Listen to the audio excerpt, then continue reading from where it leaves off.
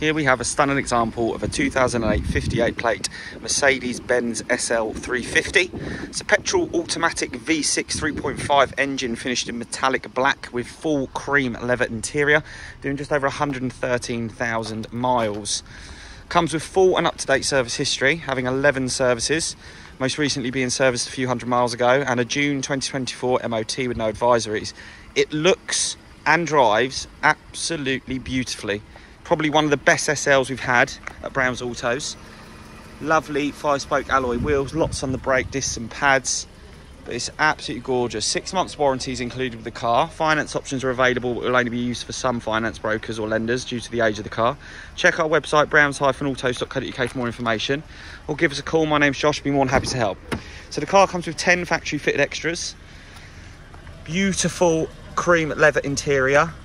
Burr wood light trim, electric windows, electric memory seats for the driver and the passenger, and heated seats and a neck scarf. And the neck scarf obviously is in the headrests. As you can see, it's beautiful quilted cream leather, all fully electric and working. Two storage pots in the back there and a long center console. Wind deflectors in the boot as well with the mats, which I'll show you in a second. Jumping in, we've got the auto lights, the headlight washer, there's the mileage, 113,622. Lovely wood trim steering wheel, wood trim gear shifter and wood trim centre console. These are all extras.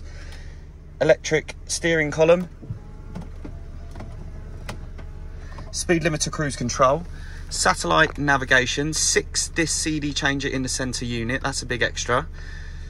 Bluetooth telephone, CD, FM, AM radio. And then coming down to the centre, we've got split level air conditioning and heating, auto gearbox, electric folding mirrors,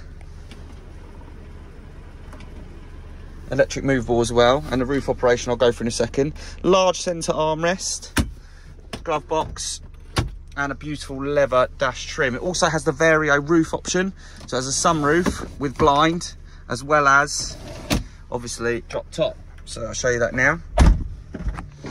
So you simply just pull back this lever here. The bonnet will open. Sorry, the boot will open. Windows will drop and the roof will concertina back onto itself.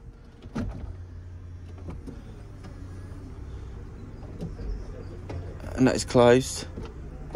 And the windows pop up. So that is now shut. Going to the rear. Open the boot. What I like about these is that when you open the boot up,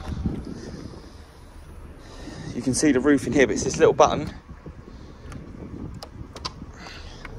that you hold and the drop top comes up. Now that's the boot separator to make sure that the roof goes down, but you can see we've got the mats and we also have the wind deflector in the back. So closing the boot separator, make sure it's locked in, pulling the roof back down and shutting the boot will enable the roof to come back up, which I'll show you in a second. Jumping back into the car, push it down this time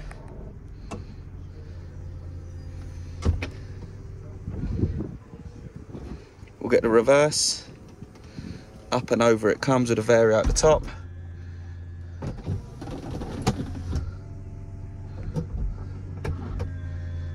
And then the rear windows will lock in. Done.